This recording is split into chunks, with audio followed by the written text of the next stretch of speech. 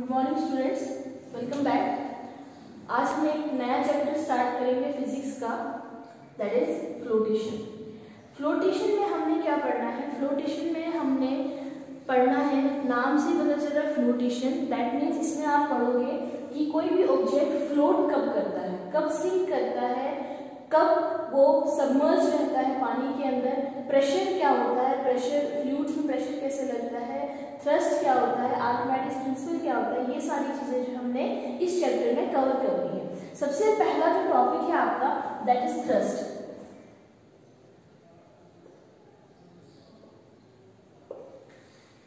क्या होता है थ्रस्ट एक्चुअली में एक फोर्स होती है सिंपली थ्रस्ट जो है दैट इज़ फोर्स लेकिन अगर हम बात करें जो हमने पिछले चैप्टर्स में फोर्स पढ़ा था फोर्स क्या हम पढ़ते हैं कि फोर्स होता है दैट किसी भी कोई ऐसी एक्सटर्नल एफर्ट जिससे ऑब्जेक्ट जो है वो मूव करता है ठीक है रेस्ट में आता है उसकी डायरेक्शन चेंज होती है, उसकी स्पीड चेंज होती है दैट इज़ फोर्स यहाँ पे हमारे पास क्या है? वहाँ पे हम कोई पर्टिकुलर डायरेक्शन नहीं बताते हैं कि किस डायरेक्शन में मतलब परपेंडिकुलर भी लग सकता है स्ट्रेट ऐसे, इस डायरेक्शन में भी लग सकता है, किसी भी डायरेक्शन में हमारे पास फोर्स लगती है। लेकिन जब हम बात करते हैं थ्रस्ट की थ्रस्ट में क्या आता है हमारे पास? थ्रस्ट एक परपेंडिकुलर फोर्स होती है एक्टिंग ऑन अ बॉडी किसी भी बॉडी में जब एक परपेंडिकुलर फोर्स लगती है परपेंडिकुलर क्या होता है? दैट इज़ जब 90 डिग्री एंगल में हम किसी भी बॉडी में फोर्स लगाते हैं that is that particular force is called thrust जैसे फॉर एग्जांपल मेरे पास एक क्यूब है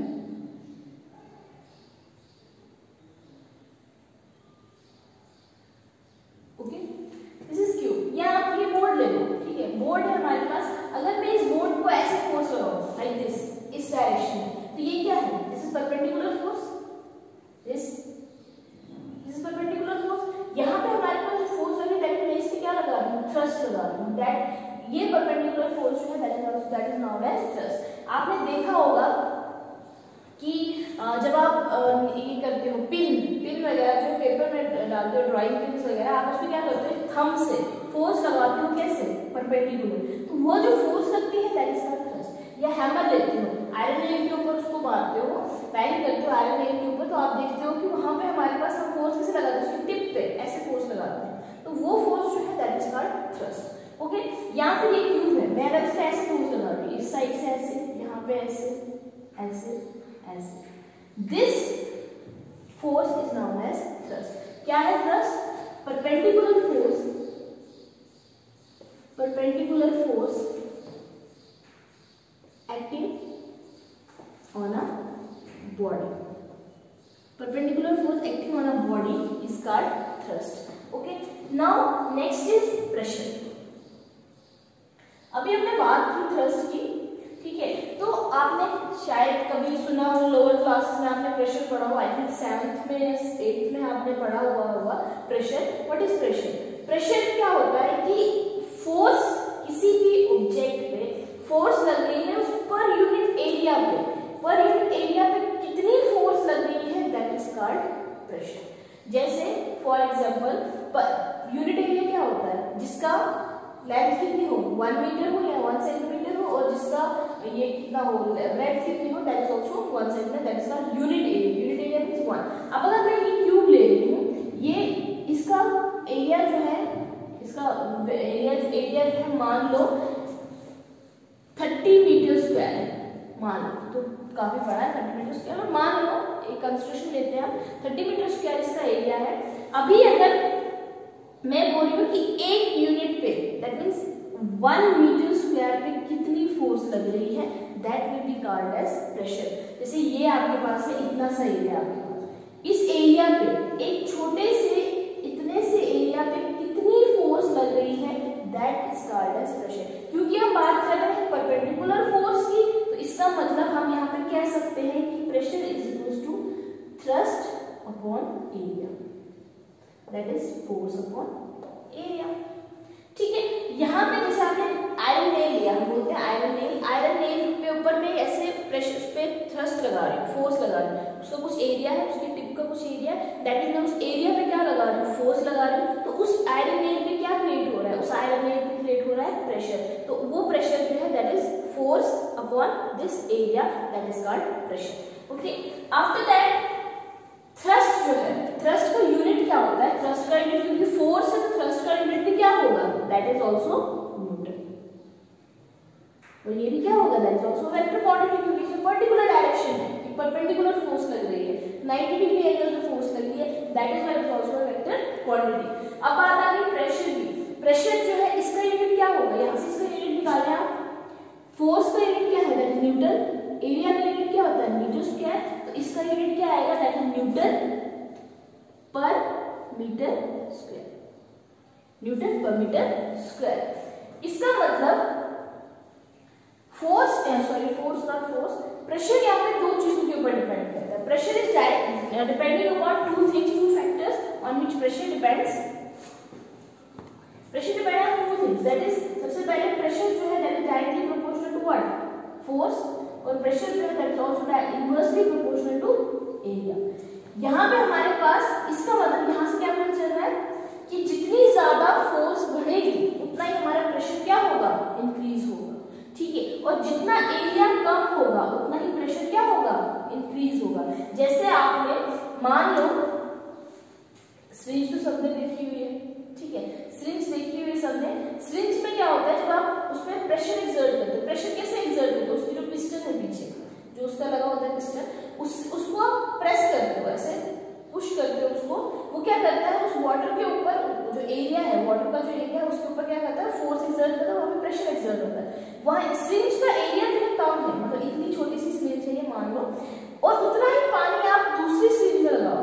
मतलब एक बड़ी सिरिंज ले लो या कोई बड़ा सा बर्तन ले लो, उसके ऊपर फोर्स लगाओ, उसमें एरिया जो है वो क्या है, ज़्यादा है। प्रेशर क्या लगेगा वहाँ पे? कम लगेगा। दैट इज़ वाई हमारे पास यहाँ पे बहुत सारे इसकी एप्लीकेशन है भी हम और हाँ एक और बात, जो आपका यूनिट है, इसका न्यूटन पर मीटर स्क्वायर यहाँ पे हमारे पास क्या होता है? इसका जो इसको न्यूटन पर मीटर स्क्वायर जो किसके बराबर होता है? That is two pascal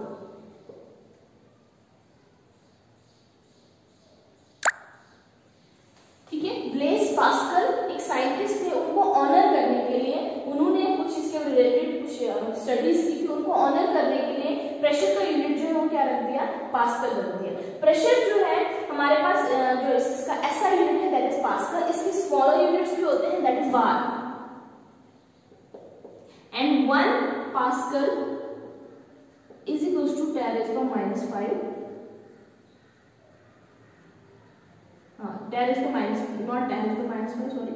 1 bar is equals to 10 raised to minus 5 pascal okay that means अगर आपके पास कभी न्यूमेरिकल प्रॉब्लम में प्रेशर आपका बार में दिया हुआ है तो आप उसको कन्वर्ट कर सकते हो पास्कल से ओके आप अच्छा मैं आपको बता रही थी कि प्रेशर हमारे पास दो चीज़ों के ऊपर डिपेंड करता है। एक करता है फोर्स के ऊपर और दूसरा करता है इसके ऊपर? एरिया के ऊपर। अब यहाँ पे हमारे पास इन्हीं से रिलेटेड हम कुछ एप्लीकेशन देखते हैं जो हम डे टू डे लाइफ में बहुत ही कॉमन एप्लीकेशन है जो हम यूज़ करते हैं। जहाँ पे कभी आपने ये सोचा नहीं होगा कि ऐसा क्यों होता है, लेकिन आप जब आप ये पढ़ोगे तो उसके बाद आप सोचोगे कि नहीं, ऐसा इसीलिए होता है। इसका रीजन ये है कि हमारे पास अगर प्रेशर कम या ज़्यादा लगता है। देखिए, आपने नोटिस किया होगा कि आपके बैग्स के स्ट्रैप्स जो होते हैं, जो आपका बैग है स्कूल बैग जो होते हैं, उनके स्ट्रैप्स जो है वो क्या होते हैं? थिक होते हैं, मोटे होते हैं। ठीक है? एरिया उनका क्या ज़्यादा होता है, ऐसे चौड़े होते हैं। मोटे भी नहीं बोलेंगे चौड़े होते हैं। वो क्यों होते हैं? दैट इज़ बिकॉज़ जो आपके शोल्डर्स हैं, ठीक है? जो आपके शोल्डर्स हैं, जब वो बैग जब आप बुक्स डालते हो, वो बुक्स क्या है? वो एक्ट करती है एज अ फोर्स ठीक है? वो फोर्स एक्ट कर रही है जब आप बुक्स डाल रहे हो, वो बुक्स जब आप बैग उसको लगाते हो, बैग को लगाते हो, वो फोर्स किसके ऊपर लग रही है? आपके शोल्डर्स के ऊपर। शोल्डर्स के ऊपर लग रही है, अगर वो थिन होती अगर वो स्ट्रैप्स थिन होती, आपने कभी, आपने वो छोटे वाले बैग्स भी लिए होंगे जो आप यूज़ करते हैं इधर उधर जाने के लिए, कभी ट्यूशन एग्ज़ाम देने के लिए जाते हैं आप, वो यूज़ करते हैं आप, वो एक पतली स्ट्रैप्स वाले होते अगर वही बुक्स जो आप स्कूल की बुक्स हैं, वो आप उस पतली स्ट्रैप्स में डाल, डालेंगे स्ट्रैप्स वाले बैग में डालेंगे, आप देखेंगे कि आपके जो शोल्डर्स हैं, वो क्या करते हैं? पेन करते हैं। शोल्डर्स जो है, वो हर्ट होते हैं। लेकिन उसी कंपैरिजन में जो आपके स्कूल बैग्स हैं, उनमें उतनी बुक्स डालें तो वो हर्ट नहीं होता, आपके शोल्डर पेन नहीं करते। वाई दैट इज़ बिकॉज़ जो आपके स्कूल बैग्स हैं, जिनकी वाइडर स्ट्रैप्स होती हैं, जिनकी स्ट्रैप्स वाइडर होती हैं, वो क्या करते हैं? एरिया उसका ज़्यादा है एरिया ऑफ़ कॉन्टेक्ट जिसको बोलते हैं एरिया ऑफ़ कॉन्टेक्ट उसका क्या है? ज़्यादा है। एरिया ऑफ़ कॉन्टेक्ट ज़्यादा है तो इस फॉर्मूले के अकॉर्डिंग प्रेशर क्या होगा? प्रेशर क्या होगा? कम होगा।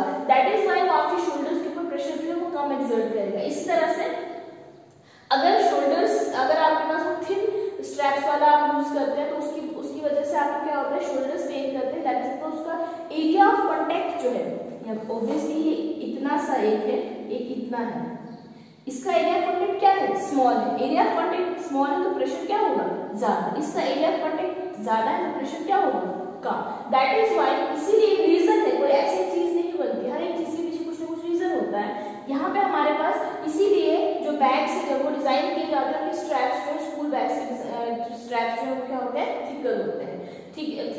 वाइडर होते हैं ओके उसके अलावा आपने नोटिस किया होगा हाँ जैसे शार्प और ब्लंट नाइफ नाइफ्स देखे हैं आपने? एक होता है शार्प नाइफ एक होता है ब्लंट नाइफ दोनों को कभी सामने से देखना, जो शार्प नाइफ होता है, बिल्कुल उसका जो आगे वाला मतलब जो धार होती है, जो आगे वाला पीस होता है, वो क्या होता है? बिल्कुल शार्प शार्प नहीं बिल्कुल थिन होता है. ठीक है लेकिन जो ब्लंट नाइफ है उसमें थोड़ा सा थिक हो जाता है उसकी शार्पनेस जो कम हो जाती है थोड़ा थिक हो जाता है। जिसकी वजह से जब आप वेजिटेबल्स काट फ्रूट्स काटते हो, उसकी वजह से क्या होता है कि वो जो ब्लड नाइफ है, वो फ्रूट के अंदर नहीं मतलब उसको प्रॉपरली कट नहीं कर पाता क्यों? क्योंकि वो उसका एरिया ऑफ़ कॉन्टेक्ट ज़्यादा है तो वो प्रेशर क्या करता है? कम एक्सर्ट करता है। और जो आपके पास जिसका शार्प नाइफ होती है, उसका एरिया कॉन्टेक्ट क्या होता है? कम होता है तो इसलिए वो प्रेशर जो है वो क्या करती है? ज़्यादा एक्सर्ट करती है। That is why we always use sharp knife to cut vegetables and fruits उसके अलावा आपने ये भी नोटिस किया होगा कि आपके घर में जब आप मैट्रेस के ऊपर मैट्रेस के ऊपर आप उछल कूद करते हो, ठीक है तो आपको आपके मम्मा जो है वो हमेशा बोलते हैं पेरेंट्स आपके बोलते हैं, उछल कूद नहीं करो, ये खराब हो जाएँगे। उसके कंपैरिजन में अगर आप पूरा दिन सोते रहोगे, ठीक है, उसके कंपैरिजन में अगर पूरा दिन सोते रहोगे, कोई आपको नहीं बोलेगा कि सोने से ही खराब होंगे। Reason what is the reason reason behind it is जब आप सोते हैं, आपकी पूरी बॉडी कॉन्टेक्ट में आती है। अगर आप ऐसे लेते हैं ना, ठीक है, ये मैट्रेस है। पूरी बॉडी से कॉन्टेक्ट में आ गई। ठीक है तो ये जो आपका वेट जो है फोर्स वेट जो है वो डिस्ट्रीब्यूट हो रहा है। ठीक है एरिया कॉन्टेक्ट क्या है? ज़्यादा है। वेट डिस्ट्रीब्यूट हो रहा है। लेकिन इसके कंपैरिजन में जब आप खड़े होते हैं, ठीक है, खड़े ऐसे मैट्रेस ऐसे, ठीक है, जब आप खड़े होते हैं, आपका वेट जो है दैट इज़ फोर्स जो है, वो क्या लग रही है? एक छोटे से एरिया कॉन्टेक्ट पे लग रही है। एरिया कॉन्टेक्ट इसका कम है, जिसकी वजह से प्रेशर क्या होगा यहाँ पे? ज़्यादा एक्सर्ट होगा। प्रेशर ज़्यादा एक्सर्ट होगा, जिसकी वजह से वो जो है वहाँ पे दब जाएगा। ठीक है, वो मैट्रेस जो है वो दब जाएगा। या फिर आपने वो देखे होंगे मैजिक शूज़ देखे होंगे, ठीक है? मैजिक शूज़ में आपने क्या देखा होगा कि क्या करते हैं, वो बोलते हैं कि हम आयरन ये जो नेल्स हैं, उनकी, उसका बेड बनाते हैं और सो जाते हैं उसके। हमें लगता है कि पता नहीं, इसको नहीं लगती, हमें ही लगती है। अगर हम सोएँगे तो हमें लगेगी। ऐसा कुछ नहीं, अगर आप भी उस बेड पे सोएँगे तो आपको भी नहीं लगेगी। रीजन इज़ व्हाट अगर आप बोलेंगे कि नहीं आयरन नेल है, वो तो चुभेगा हमें।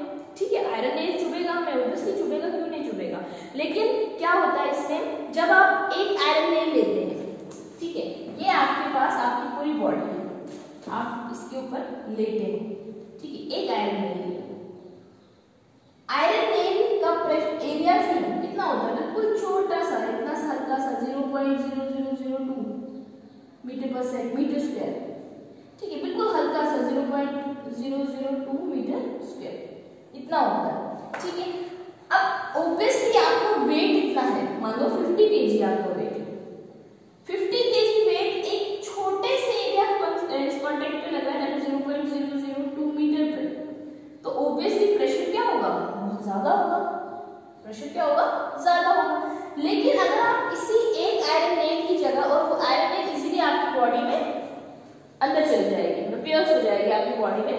लेकिन इसी की जगह आयरन नेल की जगह एक आयरन की जगह थाउजेंड्स ऑफ़ आयरन नेल लगा।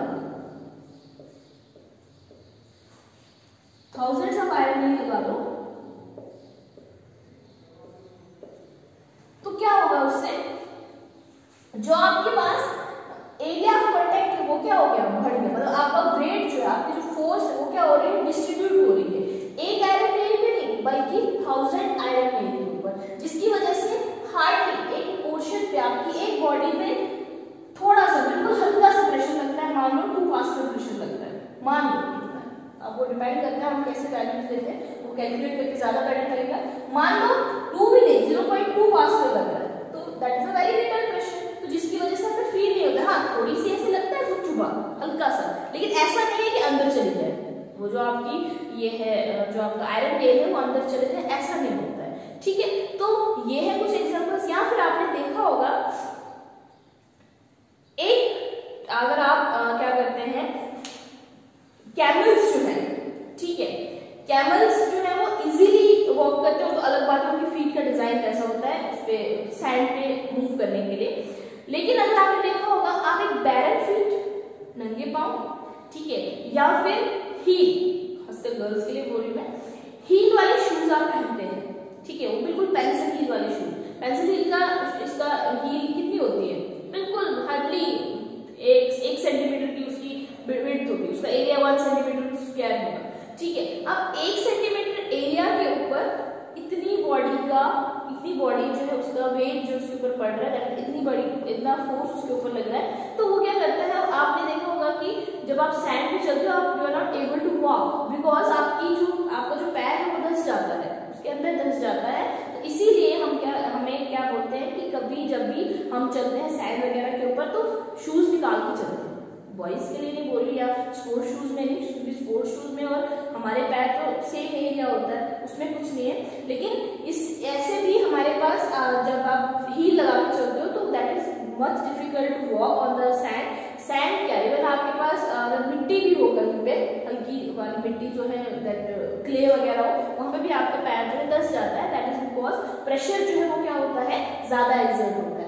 या आपने देखा होगा, अगर आप सैंड के ऊपर लेटते हो, लेट जाते हो सैंड के ऊपर तो वो कम नीचे दसती है। मतलब उसका, उसके ऊपर प्रेशर जो है वो कम एक्सर्ट होता है। एज कंपेयर अगर आप खड़े होते हो, आपके पैर अंदर चले जाते हैं that is because of this pressure जो है वो ज़्यादा लगता है। एरिया एरिया कंटेक्ट जो है वो क्या है? कम है तो प्रेशर क्या लग रहा है उसके ऊपर? ज़्यादा लग रहा है, जिसकी वजह से वहाँ पे वो क्या कर है ओके तो this is about pressure and thrust next lecture में हम पढ़ेंगे pressure in fluids okay pressure in fluids पढ़ेंगे और उसके अलावा हमारे पास जो आर्थमेटिक्स प्रिंसिपल है, जो जो भी आपके पास रिमेनिंग टॉपिक्स है, वो हम कल नेक्स्ट लेक्चर में पढ़ेंगे. Thank you